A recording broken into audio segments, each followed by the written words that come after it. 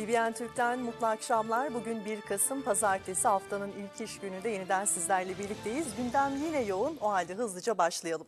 Cumhurbaşkanı Recep Tayyip Erdoğan Roma'da düzenlenen G20 zirvesinin ardından açıklama yaptı. Amerika Birleşik Devletleri Başkanı Joe Biden'la görüşmesine değinen Erdoğan, Suriye'de terör örgütlerine verilen destek nedeniyle Türkiye'nin duyduğu üzüntüyü ifade ettiğini aktardı. Bundan sonraki sürecin bu şekilde devam etmeyeceğine inandığını söyledi. Bundan sonraki süreçte inanıyorum ki bugüne kadar olan süreç herhalde böyle devam etmeyecektir. Biden'la görüşmesini değerlendirdi. F-16'lar gündemdeydi. F-16'ların elimizdekilerin modernizasyonu veyahut da yeni F-16'lar verilmesi konusu gündemimize geldi. G20 Liderler Zirvesi'nin 16.sı İtalya'nın ev sahipliğinde tamamlandı. Cumhurbaşkanı Recep Tayyip Erdoğan zirvenin yapıldığı Nuvola Kongre Merkezi'nde basın toplantısı düzenledi. Küresel finans sisteminin kontrolünü elinde bulunduran kuruluşların hiçbir makul ekonomik gerekçesi olmayan siyasi amaçlı manipülasyonlara alet olmaması gerektiğini düşünüyoruz. Aksi takdirde özellikle bizim gibi ekonomik büyüme potansiyeli yüksek olan ülkelerin uluslararası kuruluşların işleyişine ve niyetlerine dair şüphelerinin artacağını belirtmek istiyoruz. Amerika Başkanı Joe Biden'la yaptığı görüşmeyi değerlendirdi. Yeni F-16 alımı konusunda gelinen noktayı özetledi. Bu konuyla ilgili de Sayın Biden'ın ben olumlu yaklaşımını gördüğüm gibi tabii olayın bir diğer boyutu da malum temsilciler meclisi olsun, senato olsun bunlar. Dedik ki artık her iki tarafta da sizin ağırlığınız var. Biz sizden gerekli bu noktada ihtimamı bekliyoruz. O görüşmede Doğu Akdeniz konusu gündeme gelmedi. Doğu Akdeniz hiç gündemimize gelmedi. Gelmediğine göre demek ki Sayın Biden'ın da şu anda gündeminde değil. Benim de gündemimde değil. Aşı milliyetçiliği konusuna da değindi. Aşı milliyetçiliğinin farklı yöntemlerle halen sürdürülmesi ve Dünya Sağlık Örgütü tarafından tanınan aşıların özellikle uluslararası arenada ayrımcılığa tabi tutulması kabul edilemez. Glasgow'daki programını iptal eden Cumhurbaşkanı Erdoğan, G20 Liderler Zirvesi'nin ardından Türkiye'ye döndü. Değerli izleyenler, Türkiye ve Amerika arasında geçtiğimiz günlerde yapılan F-35 toplantısına ilişkin açıklama geldi. Buna göre Türkiye, Amerika'ya F-35 programına yeniden alınma talebini iletti. Heyetler arasındaki ikinci toplantı birkaç ay içinde Washington'da yapılacak. Excuse me. ABD heyetiyle Türkiye arasında geçen F-35 toplantısına ilişkin açıklama Erdoğan-Biden zirvesinin ardından geldi. F-35'lerle ilgili isteklerin Amerika'ya iletildiği belirtildi. Sit down, guys. Sit down. Sit down. Sit down. Türk ve ABD heyeti F-35 konusundaki itilafın giderilmesi ve mali hususların görüşülmesi için geçen hafta Ankara'da bir araya gelmişti. Milli Savunma Bakanlığı'ndan o toplantıya ilişkin açıklama geldi. Buna göre Türkiye F-35 konusundaki talebini Amerika'ya iletti. Bakanlık kaynakları F-35 konusunda ABD heyetine teknik görüşmelerde pozisyonumuzu ortaya koyduk. Birinci olarak F-35 programına geri dönme, ikinci olarak tahsis edilen uçakların teslim edilmesi, eğer bunlar olmuyorsa ödediğimiz paraların iadesi şeklinde bir görüşümüz var. Bu kapsamda görüşmeler devam edecek dedi.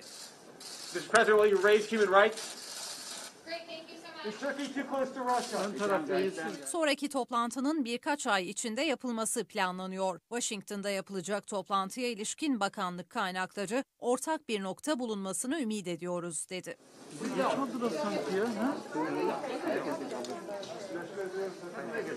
Öte yandan Milli Savunma Bakanlığı terörle mücadele, Ege ve Doğu Akdeniz'de sınır güvenliği konularında bilgilendirmede bulundu. Ekim ayında ise yurt içinde ve sınır ötesinde 3'ü büyük, 24 orta çaplı olmak üzere 27 operasyon icra edilmiş ve 279 terörist etkisiz hale getirilmiştir. Evet, şimdi gelelim Cumhurbaşkanı Erdoğan'ın neden Glasgow seyahatini iptal ettiği sorusunun cevabına. Sayın seyirciler, diğer dünya liderlerine uygulanan güvenlik protokolü Türkiye için uygulanmadı. Bunun bir ayrımcılık olduğunu düşünen Erdoğan da Glasgow'a gitmedi, gece yurda döndü.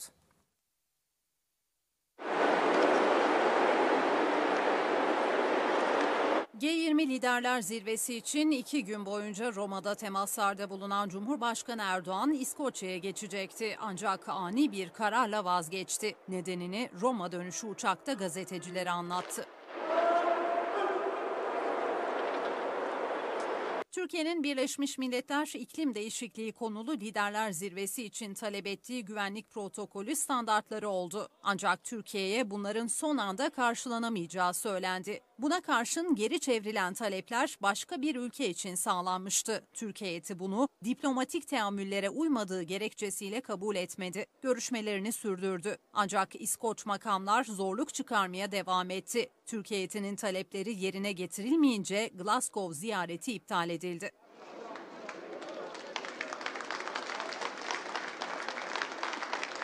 Cumhurbaşkanı Erdoğan nihayetinde bu sadece kendi güvenliğimizle ilgili değil, ülkemizin itibarıyla da ilgili bir meseleydi. Biz milletimizin itibarını korumakla mükellefiz. Hiçbir yerde ülkemizin saygınlığına, izzetine halel gelmesine müsaade etmeyiz. Daha adil bir dünyayı ancak eşitlikçi bir yaklaşımla kurabileceğimizi de böylece bir kez daha göstermiş olduk dedi.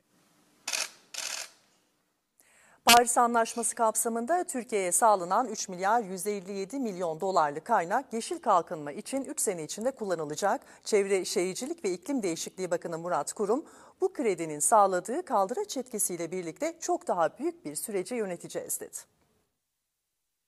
3 milyar 157 milyon dolarlık bir finansmanla e, iklim değişikliği ile ilgili mücadelemizi daha etkin bir şekilde yürütüyor olacağız. Türkiye'nin yeşil kalkınma döneminde yönetilen değil, yöneten bir ülke olacağını söyledi. İklim değişikliğiyle her anlamda mücadele edeceklerini belirtti. Yeşil kalkınma dönemine girmiş oluyoruz. Bu çerçevede biz bu süreci etkilenen değil, etki eden, yöneten, liderlik eden bir ülke olmak üzere çalışıyoruz. Çevre, Şehircilik ve İklim Değişikliği Bakanı Murat Kurum, İskoçya'nın Glasgow kentindeki Birleşmiş Milletler İklim Değişikliği Çerçeve Sözleşmesi 26. Taraflar Konferansı'nda hazırlanan Türkiye standının açılışını yaptı. Hayırlı uğurlu olsun.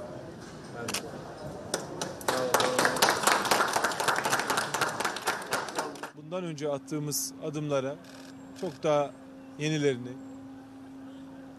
ilave etmek suretiyle iklim değişikliğiyle mücadelemizi kararlı bir şekilde yürütüyor olacağız. Türkiye'ye sağlanan 3 milyar 157 milyon dolarlık kaynağın 3 yıl içinde en etkili ve verimli şekilde kullanılacağını ifade etti. Bu finansmanı bir kaldıraç etkisiyle e, düşünüp e, belki 4-5 katı daha e, büyüklükte bir projeyi bu çerçevede yönetiyor olacağız. E, sürdürülebilir bir ekonomi için, e, yeşil kalkınma için, e, yeşil üretim için e, bu kaynağı 3 sene içerisinde kullanacağız. 2053 hedefine vurgu yaptı. İnşallah 2053'e geldiğimizde net sıfır emisyona ulaştığımız, karbon nötr bir ülke olduğumuz e, bir sürece dahil oluyoruz.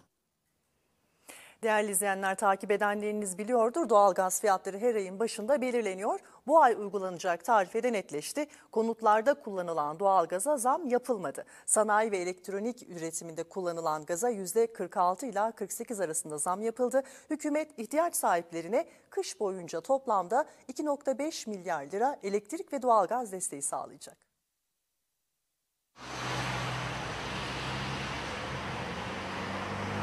Konutlarda kullanılan doğalgazın fiyatı değişmedi. Sanayi tarifesine %48, elektrik üretimi için kullanılan doğalgaza %46 zam yapıldı.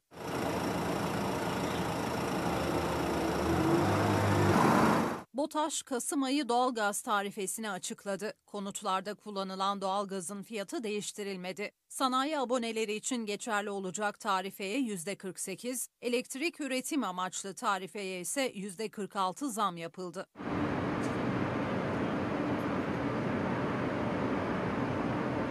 Enerji ve Tabi Kaynaklar Bakanı Fatih Dönmez, son düzenlemenin ardından Türkiye'nin Avrupa'da doğal gazı kullanıcılara en uygun fiyata sunan ülke konumuna geldiğini açıkladı. Elektrik fiyatları konusunda ise Türkiye en ucuz üçüncü ülke. Avrupa'da en ucuz elektrik Ukrayna ve Sırbistan'da. Hükümet küresel piyasalardaki fiyat artışlarının vatandaşa yansımasını önlemek adına 2021'de yaklaşık 60 milyar liralık vergi alacağından vazgeçti. Enerji maliyetinin yaklaşık yarısı devlet tarafından üstlenildi. Doğalgazda konut fiyatlarının artırılmaması da bu adımlardan biri.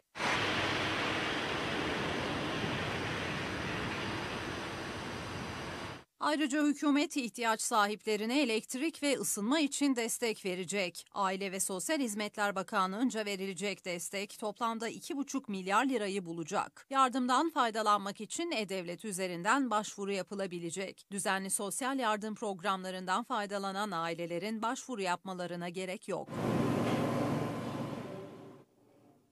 Türkiye ihracatta vites yükseltmeye devam ediyor. Ekim ayında geçen yılın aynı ayına göre %20.2 artış yaşandı. İhracat 20.8 milyar dolar seviyesine yükseldi. Cumhuriyet tarihinin en yüksek aylık ihracat değeri tazelendi. İhracatımız geçtiğimiz yılın Ekim ayına göre %20,2'lik artışla 20,8 milyar dolar seviyesinde gerçekleşmiştir. Türkiye rekorlara doymadı. İhracatta iki rekor birden kırıldı. 2021 yılının henüz ilk 10 ayında 2019 yılında yakalamış olduğumuz 180,8 milyar dolarlık en yüksek yıllık ihracat rekorumuzu geride bırakmış olduk. Türkiye'de 2021 ihracat alanında rekorlarla dolu bir yıl oldu. 2021'de ortaya konulan güçlü ihracat hızını bir an olsun düşürmedi. İhracatımız geçtiğimiz yılın Ekim ayına göre %20,2'lik artışla 20,8 milyar dolar seviyesinde gerçekleşmiştir. Bu değer ile geçen ayki Cumhuriyet tarihindeki en yüksek aylık ihracat değeri tazelenmiştir. Yılın 10 ayında gerçekleşen 180 milyar 800 milyon dolarlık ihracatla 2019'daki yıllık ihracat rekoru da şimdiden kırılmış oldu. Son 12 aylık ihracat değerimiz olan 215,7 milyar dolar da yeni bir rekordur. 2021 yıl Ocak-Ekim döneminde ise ihracatımız geçtiğimiz yılın aynı dönemiyle karşılaştırıldığında %33,9 artarak 181,8 milyar dolar olarak gerçekleşmiştir. Aylık ithalatsa %12,97 artarak 22 milyar 270 milyon dolar oldu. Dış ticaret hacmi 43 milyar 77 milyon dolara yükseldi. Ekim ayında ihracatın ithalatı karşılama oranı ise geçtiğimiz yılın aynı ayına göre 5,6 puan artış ile %93,4'e ulaşmıştır. Göreceksiniz çok kısa bir süre içerisinde dış ticarette fazla veren Türkiye hedefine ulaşmış olacağız. Çalışanların gözü asgari ücrete yapılacak zamda AK Parti Genel Başkan Yardımcısı Vedat Demiröz'ün asgari ücreti insanca geçinilebilir bir seviyeye çıkartacağız açıklamasından sonra asgari ücretle çalışanlar adeta nefeslerini tuttu. Gelecek zammı heyecanla bekliyor.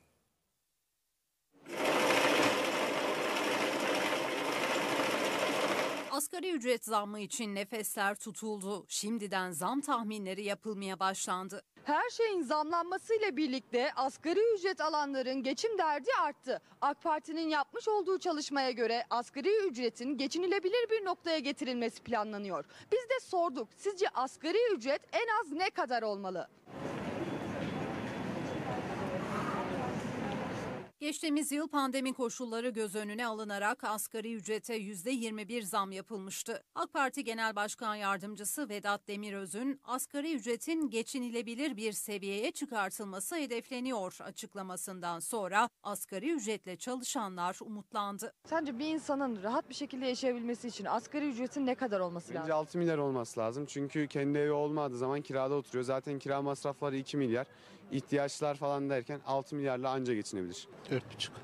4500. Bence 7000. Neden? Nedeni yani geçinemiyoruz. Ben de askeri ücretle çalışıyorum. Hiçbir şekilde geçinemiyoruz yani. Şu anda zaten normal. Asgari ücret yeterli geliyor mu? Tabii canım niye getirilmesin ki? İşte e, 3000 liraya yakın bir maaş var. Bununla 4 çocuğunu geçindiren bir e, aile babası olduğunuzu düşünün. Ya ona göre tabii canım normal değil yani. Bu göreceli bir düşünce. Yani hangi ülkede yaşadığına bağlı ama e, 4-5 milyardan aşağı olmaması lazım asgari, asgari ücret. Ortalama 3,5 bence iyi. Önceden 100 liraya alışveriş yapabiliyorken şimdi en az bir 300 gerekiyor yani. Bazılarının beklentisi biraz yüksek. 10 bin. Yani hayat şartları gerçekten çok pahalı. Ee, yapılan zamlarla birlikte rahat huzurlu bir şekilde yani e, yaşamak için mutlaka bir 10 bin olması lazım. 10 bin liradan aşağı olmaması lazım. Yani asgari ücret şu anda 2800 lira. Biz çarşıya çıkıyoruz 5 lira çay. O yüzden rahat bir yaşam için asgari ücretin 10 bin liradan aşağı olmaması lazım. Ya bir kira var ya bir kira şu an Konya'da bir kira 1100 lira. Asgari ücret ne kadar? 2800 lira. Benim 3 tane çocuğum olsun benim geçmem zor olur. 10 bin veya işte o civarlarda olması lazım. Daha az zaten şey yok çünkü ekonominin durumu belli zaten.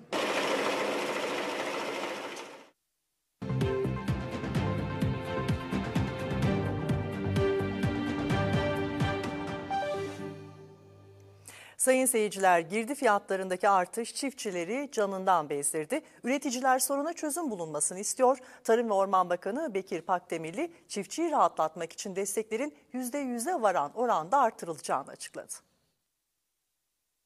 Üretici üretmekle üreticiliği bırakmak arasında karar verme aşamasına geldi. Girdi fiyatlarındaki artış üreticinin canına tak etti. Tarım ve Orman Bakanlığı harekete geçti. 2022 üretim yılı içinde hububat dahil tüm ürünlerde gübre desteklerini %100 arttırarak ödeyeceğiz. Döviz kurundaki artış tarım sektörünü doğrudan etkilemeye devam ediyor. Daha kaliteli, verimli ürün elde etmek için kullanılan gübre fiyatları zirvede. Üretici artan gübre ve tohum maliyetleri nedeniyle ürününü ekemedi ya da önceki yıllara oranla az ekti. Bazı üreticiler de hiç gübre kullanmadan ekim yapmaya çalıştı. Son bir yılda amonyum sülfat gübresi %200, amonyum nitrat gübresi %195, üre gübresi %239, DAP gübresi %159 ve 20-20 kompoze gübresi %130 arttı. Türkiye Ziraat Odaları Birliği konuya acil çözüm bulunmasını istiyor. Üretimden vazgeçme noktasına gelmiş çiftçilerimiz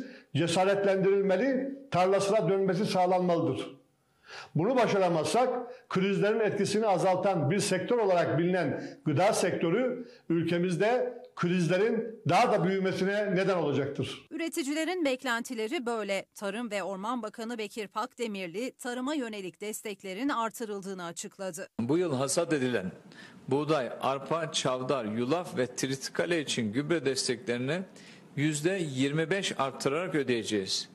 2022 üretim yılı içinde hububat dahil tüm ürünlerde gübre desteklerini %100 arttırarak ödeyeceğiz. Çiftçinin belini büken sadece gübre fiyatları değil, mazot, yem, elektrik fiyatları da üreticinin en büyük gider kalemlerinden. Özellikle üretim sezonu yeni başlayan temel ürünlerimiz olan hubbat ve baklagil üretimi yeterli olmazsa dünyada pahalı bir hale gelen bu ürünlerin ithalatı da güçleşecektir.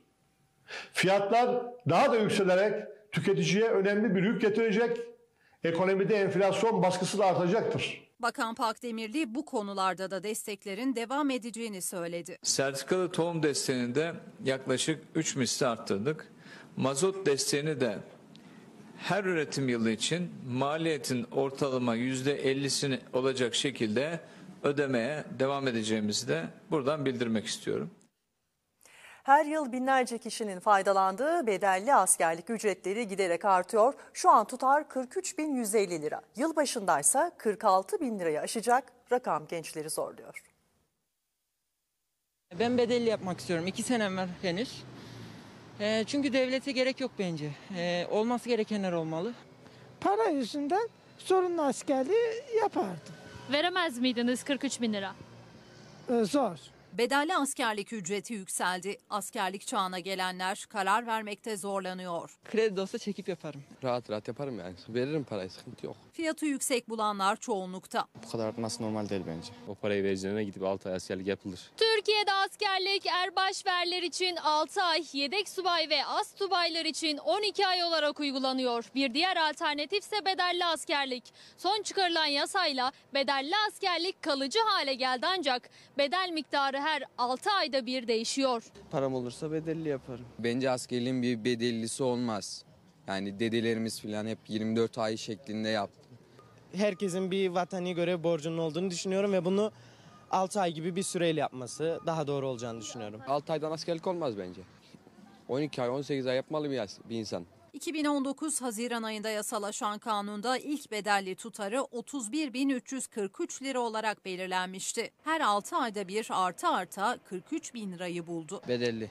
Neden bedelli? Uğraşmak istemiyorum onun için. Gidip de 6 ay askerlik, asker ocağında kalmam. Parayı verip askerliği yapabilirim bedelli olarak. Bunun için hiçbir sakınca yok benim için. Cebinde parası olan gidiyor zaten oraya.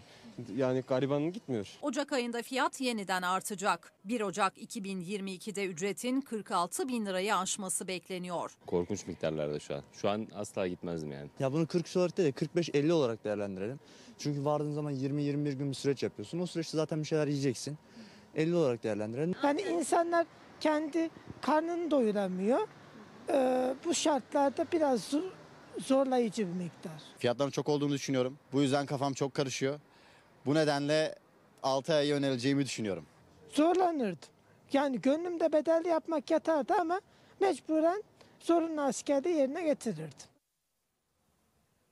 Sayın seyirciler, Kuzey Irak'ta teröristlerle çıkan çatışmada bir askerimiz şehit oldu. Piyade Sözleşmeler İslam Çiftçi, gece Hakkari Dağ ve Komando Tugayı'nda yapılan törenle memleketine gönderildi. Bugünse memleketinde düzenlenen törenle toprağa verildi.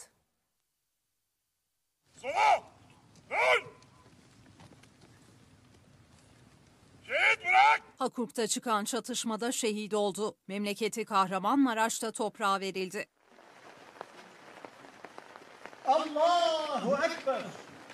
Irak'ın kuzeyindeki Hakurk'ta PKK'lı teröristlerle girilen çatışmada yaralanan piyade sözleşmeler İslam Çiftçi kaldırıldığı hastanede şehit oldu. Şehit için ilk tören Hakkari Dağ ve Komando Tugayı'nda yapıldı. Silah arkadaşları şehidi gece düzenlenen törenle memleketi Kahramanmaraş'a uğurladı. Şehit Er İslam Çiftçi için memleketi Andırın'da cenaze namazı kılındı. Kaldırıldığı Derecik Sahra ve Sığınye Hastanesi'nde yapılan tüm müdahalelere rağmen kurtarılamayarak şehit olan Boynu Yoğunlu Mahallesi'ndeki törende binlerce kişi şehide haklarını helal etti. Şehit çiftçi daha sonra mahalle mezarlığındaki şehitliğe defnedildi. Esselamu Aleyküm ve Rahmetullah.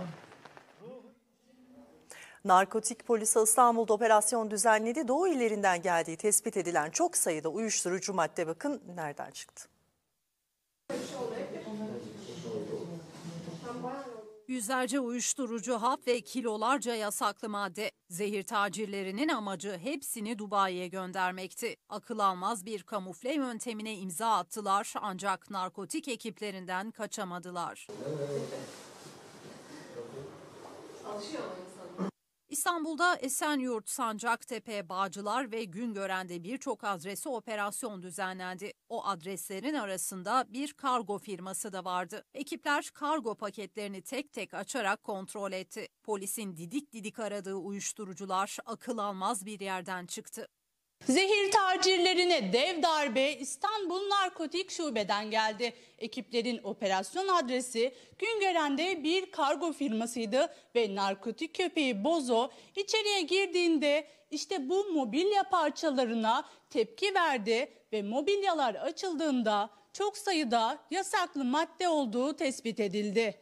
Oyma mobilyaların içinden çıkan uyuşturucu hapların her biri folyo ile sarılmıştı. Zehir tacirlerinin amacı kokuyu önlemekti ancak hassas burunlu köpekleri kandırmak o kadar kolay değildi. Narkotik köpeği Bozo zehir tacirlerinin oyununu bozdu. Polis baskında 57 kilo yasaklı madde, 100 bin uyarıcı hap, 47 adet fişek ve 3 tabanca ele geçirildiğini açıkladı. Adreste yakalanan bir yabancı 3 şüpheli gözaltına alındı. Mahkemeye çıkarılan şüpheliler tutuklanarak cezaevine sevk edildi. Değerli izleyenler, Adana'da akıl almaz bir olay yaşandı. Ailesine sinirlenen bir genç yaşadığı evini ateşe verdi. Herkes onu alevlerin arasından kurtarmaya çalıştı ama onun hiçbir şey umurunda değildi. Yanan evinin balkonuna çıktı, alevler eşliğinde sigara içti.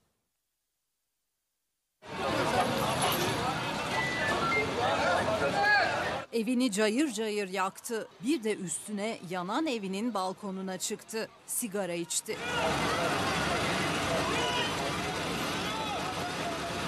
Akıl almaz olay Adana'da yaşandı. 19 yaşındaki bir genç ailesiyle tartıştı. Sinir krizi geçirdi. Yaşadığı evi gözünü bile kırpmadan ateşe verdi. Ev kısa sürede alev topuna döndü. Evden dumanların yükseldiğini gören mahalleli durumu itfaiye ekiplerine bildirdi. Ekipler genci kurtarmak için harekete geçti. Ancak bu hiç de kolay değildi. Öfkeden gözü dönen genç eline geçirdiği tencere ve tavaları aşağıya fırlattı. İçeride alevlerin yaklaştığını görünce kendisini balkona attı. Bağırmaya başladı. Ardından çıkardığı sigarayı yaktı. Alevler aldırış etmeden sigarasını içti.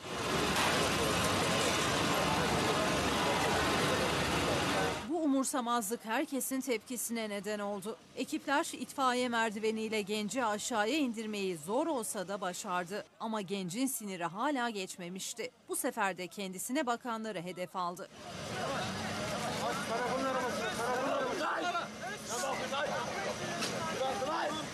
Sağlık ekipleri tarafından ilk müdahalesi yapıldı. Ardından gözaltına alınarak polis merkezine götürüldü.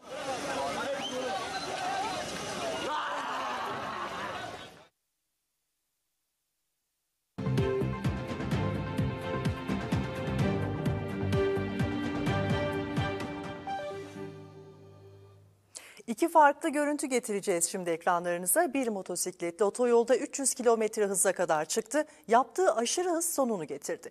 Bursa'da ise bir otomobil sürücüsü dakikalarca ters yönde ilerledi. Yüreklerin ağızlara geldiği o anlar kameralarca kaydedildi.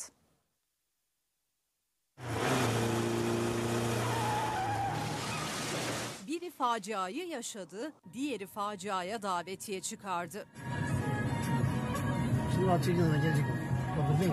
İlk adres İstanbul. Kuzey Marmara Otoyolu'nda bir motosikletli aşırı hız yaptı. Zaman zaman 300 kilometre hıza kadar ulaştı. O hızı felaketi getirdi. Bir anda direksiyon hakimiyetini kaybetti, bariyerlere çarptı. Talihsiz genç olay yerinde hayatını kaybetti. Feci kaza kask kamerası tarafından an be an kaydedildi.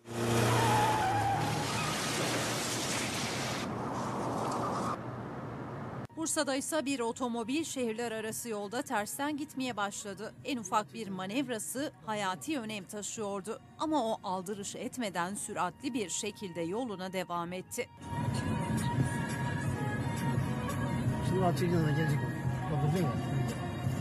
Herkesin yüreği ağzındaydı. Duyarsız sürücü bir süre sonra arayola dönerek gözden kayboldu. İstanbul'da ise bir grup maganda trafikte adeta terör estirdi. Düğün konvoyu adı altında düzenledikleri eğlencede tüneli trafiğe kapattılar. Yaptıkları bununla da sınırlı kalmadı.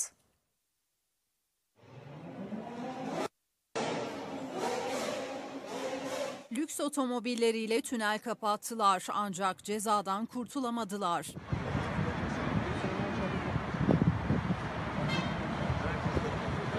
Görüntüler İstanbul Ümraniye'den bir grup sürücü düğün konvoyu düzenledi ancak yaptıkları eğlence bununla sınırlı kalmadı.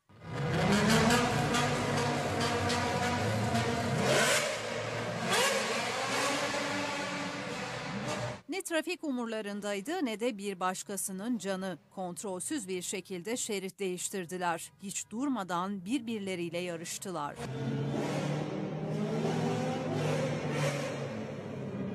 Tantavi tüneline geldiklerinde ise yolu kapattılar. Lüks araçlarını yan yana dizdiler. Telefonlarıyla bir de o anları kaydettiler.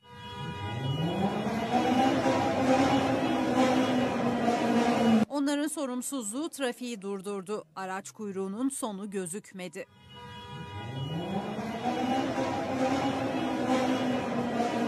Polis o sorumsuzları yakalamak için hemen harekete geçti. Çalışmaların ardından 9 araç sürücüsü yakalandı. Şahıslara toplam 6897 lira ceza uygulandı. Değerli izleyenler, hırsızlara önlem olarak kuyumcular raflarına imitasyon altınlar koyuyordu. Tüketiciyi yanılttığı gerekçesiyle bu ürünler artık kaldırılıyor. Ayrıca 2022 yılı itibariyle yetki belgesi olmayanlar kuyumculuk yapamayacaklar. Bu noktada esnafın bir talebi var. Mihenk taşıyla farklı yöntemiyle Değerli eşyalarını kuyumcuya emanet veren tüketiciler tezgahlardaki sahte altınlara aldanıyordu. Hırsızları yanıltması için kullanılan imitasyon altınlar artık raflarda olmayacak. Baktığınız zaman kuyumcu gibi gözüküyor. Semtlerde veya başka yerlerde açıyorlar. Halbuki kuyumculukla ilgili bir şey yok. Sarıdan demo tabir edilen bilezikleri koymuşlar. E, böyle e, bir müddet sonra da artık insanlardan para toplamak, yanıltmak gibi az da olsa hepsi böyle değil ama az da olsa böyle kişiler çıkınca sektör tabii zarar görüyor. Kuyumcular sadece altın, gümüş gibi değerli madenler ve değerli taşlarla saat, tespih satabiliyor. Yani emanetçilik yapmaları yasak. Bu konuda sıkıntı yaşayanların mutlaka yargıya gitmesi gerekiyor. savcılığa gidip dilekçe vereceksiniz. Vatandaş da bulunduğu bölgede öyle gidip altınını bilmem neyini kimseye geliş güzel vermeyecek. Niye veriyorsunuz? Kuyumcu emanet alamaz. Bu arada 2022 yılından itibaren kuyumculuk yapan kişilerden yetki belgesi istenecek. Kuyumculuk yetki belgesi olmayanlar kuyumculuk yapamayacak. Tabii kuyumculuk yetki belgesini almak için de 5 yıldır kuyumcu olmanız lazım. Esnafın 5 yıl şartına itirazı var. 4 yıldır kuyumcuysanız şimdi 31-12'de yetişemeyeceksiniz. Belgeyi alamayacaksınız. Peki dükkanını mı kapatacak kuyumcu? 1-1-2022'den itibaren kuyumcu dükkan açacaklardan vergi dairesine gittiği zaman vergi dairesi şunu demeli. Siz yetki belgeniz var mı? Bunları sormalı. Ticaret sicile gittiği zaman ticaret sicil de sormalı. Yetki belgeniz var mı? Yoksa ben sana müsaade etmiyorum diyecek. Evet pastırma sevenler kolaylıkla pastırma yiyebiliyorlar mı bilmiyorum. Ancak pastırmanın yanına yaklaşmak artık çok zor. Bir dilimi 3 liraya gelen pastırmanın kilosuysa dudak uçuklatıyor.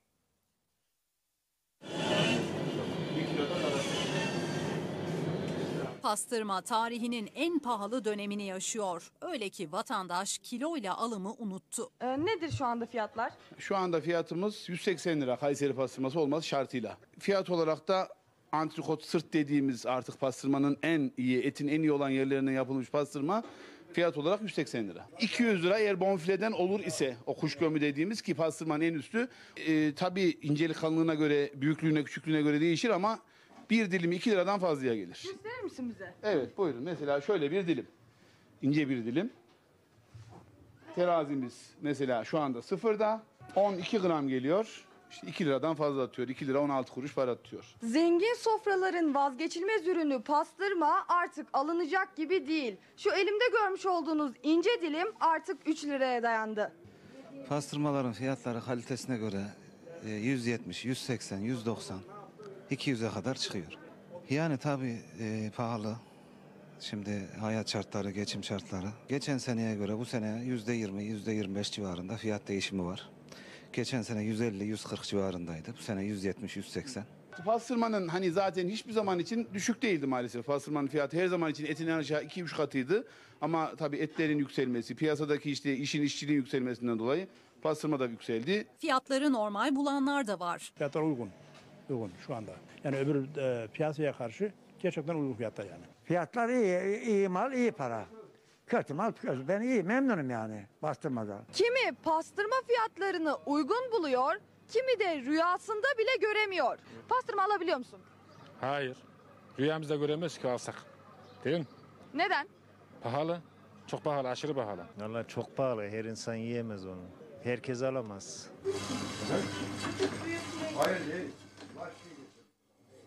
Evet bir fincan kahvenin 40 yıl hatrı var deriz ama bu haberimizde göreceksiniz ki sadece hatrı yok koruyuculuğu da var.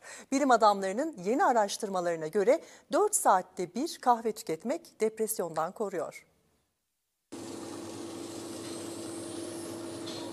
Bir fincan kahvenin 40 yıl hatrı var derler. Sadece hatrı değil, sağlık açısından koruyucu özelliği de var. Depresyonun en kolay ilacı bir fincan kahve. Kahve tüketmeyi sever miyiz? Önümüzde bir Türk kahvesi görüyorum. İki tane hatta biri bitmiş. Genellikle de Türk kahvesi içiyorum. Bu yıllar içerisinde alışkanlık haline geldi. Kasım ayıyla birlikte güneşli havalar geride kaldı. Kapalı havalar ve bol yağmurlu günler artık kapıya dayandı. Havaların bu değişkenliği mevsimsel depresyonları da beraberinde getiriyor. E, tabii ki oluyor enerji düşüklüğü. Sonuçta e, kış ayları birazcık kasvetli geçiyor. Dumanı üzerinde tüten sıcak bir kahve bilim insanları her 4 saatte bir tüketmenin mevsimsel depresyonlara iyi geldiğini söylüyor. İçelim o zaman. Şu anda çok ihtiyacımız var zaten. Depresyonda mıyız? Yani her zamanki gibi. Pandemide ne olabilir ki yani? Peki kahve içmek mutluluk verir diyorlar. İçmediğim için bilemeyeceğim. Ben zaten mutluyum mu diyorsun? Allah'a çok şükür çok mutlu bir hayatım var. O yüzden gerek görmüyorum herhalde. Kimileri kahveden vazgeçemem diyor. Günde 7-8 tane içiyorum yani. Direkt filtre kahveye sarılırım zaten sabahları. Kimileri ise çarpıntı yaptığını söylüyor. Kahveyi fazla tükettiğimde bende çarpıntı yapabiliyor. Sevmiyorum çünkü karın ağrısı yapıyor bende içtikten sonra. 4 saatte bir içilen kahve hem moral bozukluğundan koruyor hem de sindirimi kolaylaştırıyor. Ice latte'yi çok severim. Sabahları mükemmel gidiyor. Karamelli özellikle çok tatlı, hoş oluyor. Sabahları özellikle e, sade kahve içmeye gayret ediyorum. Bazen bugün de iki kereye çıkabiliyor. Balat'ın birbirinden güzel mekanları ve renkli konsepti kahve severlerin ilgisini çekiyor. Özellikle hafta sonları adım atacak yer kalmıyor. Özellikle böyle renkli yerlere geldiğimizde daha iyi oluyor bizim için. Özellikle moral olarak. Balat'ta bulunduğumuz yerde özellikle mükemmel oluyor. Peki damakta hoş tat bırakan lezzetli bir kahve hangi adımlardan geçiyor? Tek çekimi olan kahveler espresso, latte macchiato gibi onları tekten çekilir. Eğer çiftten çekersek sıkıntı olur kahvede. Sütü yakmamalıyız. Kremasını güzel bir şekilde köpürterek latteyi üzerine doldurmalıyız. Evet e, bu güzel haberin ardından canları kahve isteyenler olabilir. Onlar kahvelerini yaparken biz de kısa bir reklam arasına gidiyoruz.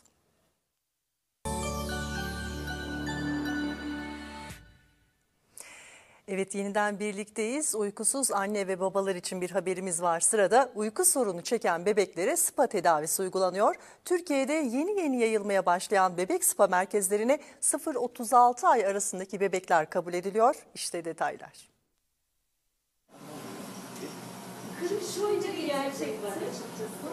Uyku sıkıntısı ve bağırsak sorunları yaşayan bebekler için spa yöntemi uygulanıyor. Önce hidroterapiye alınıyor, sonrasında ise masaj yapılıyor. Boyunlu kullanıyoruz bebeklerimize ve boyundan aşağısında tüm vücudu suyla temas etmiş oluyor. Ee, bebeklerimiz bu suya direnç göstermek adına kollarını bacaklarını istemsizce hareket ettiriyorlar ve başta bağırsak sistemi olmak üzere tüm vücut aynı anda çalışıyor. Bu yöntem 0-36 ay arası tüm bebeklere uygulanabiliyor. Hem dönemsel rahatsızlıklara iyi geliyor hem de bebeklerin gelişimine katkı sağlıyor. Akciğerlerin gelişimini çok destekler, kapasitesini artırır, soluk kalitesini iyileştirir. Sonrasında uyguladığımız bebek masajıyla da bebeklerimizi daha da gevşetiyoruz, rahatlatıyoruz ve buradan güzelce mışıl mışıl uyuyarak gönderiyoruz bebeklerimizi. Spa tedavisini yaptıranlar faydasını görüyor. Yeni yeni e, ailelerimiz çok daha bilinçlenmeye başlıyorlar bu konuda. E, merkezimizde misafir ettiğimiz ailelerimizden de çok güzel geri dönüşler alıyoruz. E, büyük çoğunluğu düzenli devam etmeye karar veriyorlar. Oldukları için çok daha kısa sürede yorulabiliyorlar. Biraz daha erken almak durumunda kalabiliyoruz. Yaşıtlarına göre zihinsel, fiziksel ve e, psikolojik anlamda e, çok daha e, güzel bir gelişim olduğunu gözlüyoruz. Biz ailelerimizle birlikte gözlemliyoruz bunları. Peki bebek spa için ailelerin ne kadar bir bütçe ayırması gerekiyor? Hidroterapinin ayda düzenli olarak iki kere alınması gerekiyor. E, maddi olarak da ailelerimize yaklaşık e, 200 TL civarı bir e, maliyeti var. Ben zaten onu kabul etmiştim. Cadılar Bayramı tüm yurtta renkli görüntüler oluşturdu. New York'ta binlerce kişi birbirinde ilginç kostümler giydi, dans eşliğinde yürüyüş yaptı. Meksika'da ise Cadılar Bayramı'na benzer bir festival vardı. Her iki eğlenceden gelen işte o renkli görüntüler.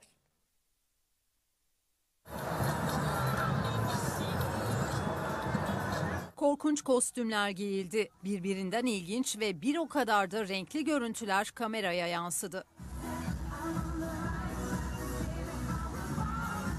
Her sene olduğu gibi bu yılda dünya genelinde Cadılar Bayramı kutlandı. O adreslerden biri de Amerika'nın nüfus olarak yoğun bölgelerinden biri olan New York'tu. Cadılar Bayramı'na özel yürüyüş yapıldı. Caddeler tıklım tıklım doldu. Binlerce insan korkunç kostümler giydi, dans eşliğinde yürüdü. Kendilerine yönelen kameralara karşı da birbirinden ilginç pozlar verdi. Şiddet olaylarının önüne geçmek için Squid Game kıyafetlerini Cadılar Bayramı'nda giymek yasaklanmıştı. Buna rağmen yasağı aldırmayıp giyenler de vardı.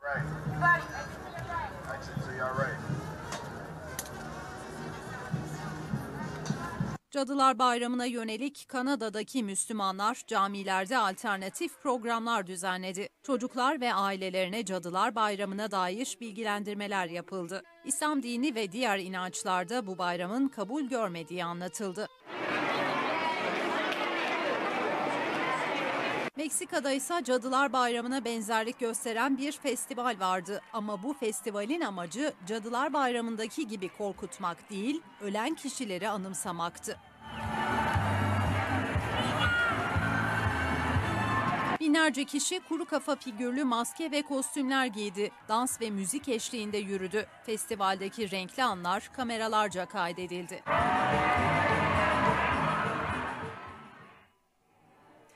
Evet bu görüntülerle bu haberle birlikte biz de bu akşamki birlikteliğimizin sonuna geldik. Birazdan hafta başı isimli programla Cüneyt Polat sizlerle birlikte olacak ve Emniyet İstihbarat Eski Daire Başkanı Bülent Orakoğlu, Gaziantep Üniversitesi öğretim üyesi doçent doktor Hüseyin Şeyhanlıoğlu da Ankara stüdyosunda sizlerle birlikte olacaklar. Yönetmenim Duygu Genç ve tüm ekip arkadaşlarıma ve sizlere teşekkür ediyorum. Yarın akşam tekrar görüşünceye dek hoşçakalın, mutlu kalın.